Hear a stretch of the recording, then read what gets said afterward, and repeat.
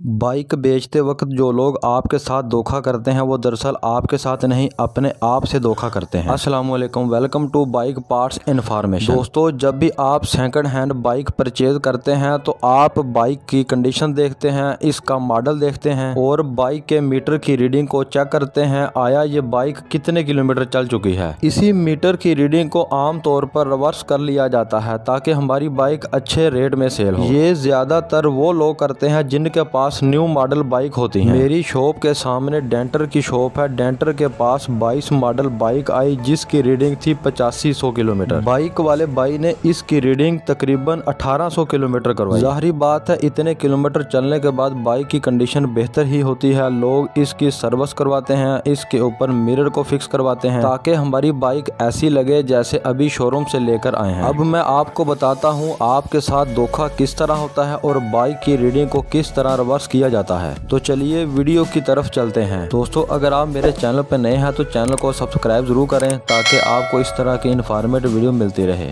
सबसे पहले बाइक के मीटर के नीचे दो नट लगे होते हैं। इन नट को चाबी की मदद से खोला जाता है। खोलने के बाद इसके साथ लगे चाबी स्विच मीटर लीड और मीटर केबल को खोला जाता है। खोलने के बाद मीटर बाइक से अलहदा हो जाता है। इसके बाद मीटर केस तीन स्क्रू की मदद से बंद होता है। इन तीनों स्क्रू को पेचकस की मदद से खोला जाता है। इस तरह मीटर केस का ऊपर वाला हिस्सा नीचे वाले हिस्से से अलहदा हो जाता है। मीटर डायल और मीटर मूवमेंट नीचे वाले हिस्से के साथ फिक्स होती है। मीटर मूवमेंट को खोलने के लिए नीचे दो स्क्रू लगे होते हैं। जैसे ही इन दोनों स्क्रू को खोला जाता है तो मीटर मूवमेंट मीटर केस से अलग हो जाता है। अब देखते हैं इसकी रीडिंग को कैसे रिवर्स किया जाता है। मीटर मूवमेंट वाली रीडिंग के नीचे गरारी होती है। इन गरारियों के मूव होने की वजह से रीडिंग स्टेप बाय स्टेप बढ़ती रहती है। नाखून की मदद से रीडिंग को गरारियों से अलग करके रीडिंग को कम या ज़्यादा कर लिया जाता है। और इस तरह वन बाई वन रीडिंग को कम या ज़्यादा करके मीटर की रीडिंग को ज़ीरो ज़ीरो कर लिया जाता है। ये याद रखिए C G one two five और सी डी सेवेंटी की मीटर मूवमेंट में कोई फ़र्क नहीं होता। मीटर मशीन दोनों की एक ही होती है। C G one two five का नीडल और मीटर डायल सी डी से मुख्तलिफ़ होता है। C G one two five के मीटर की रीडिंग को भी ऐसे ही रिवर्स किया जाता है, जिस तरह सी डी सेवेंटी के मीटर को रिवर्स किया जाता है। जब भी आप सेकंड हैंड बाइक खरीदें तो मीटर की रीडिंग पर मत यकीन करें। इन रीडिंग के ज़रिए आपके साथ जिस तरह धोखा होता है, वो मैंने आपके साथ शेयर कर दिया है। इसके बाद मीटर डायल को मीटर केस के अंदर फिक्स करके बंद कर दिया जाता है और मीटर केस के तीनों स्क्रू लगा दिए जाते हैं। इसके बाद मीटर का चाबी स्विच, मीटर लीड और मीटर केबल को लगाने के बाद मीटर को नट की मदद से फिक्स कर दिया जाता है। मीटर की रीडिंग को आप देख सकते हैं। मीटर की रीडिंग मुकम्मल ज़ीरो ज़ीरो है। अब आप बाइक को रोड पर चलाएँगे तो मीटर की रीडिंग दोबारा ज़ीरो ज़ीरो से वर्किंग करेगी। दोस्तों, ये बाइक बेचते वक्त जो लोग आपके साथ धोखा करते हैं, वो आपके साथ नहीं, बल्कि अपने साथ धोखा करते हैं। जो लोग बाइक की खरीदो फरोख्त करते हैं, ये लोग ज़्यादातर कस्टमर के साथ धोखा ही करते हैं। अल्लाह पाक इनको हदायत दे और इनको रिजक हलाल कमाने की तोफ़ी अता फरमाए।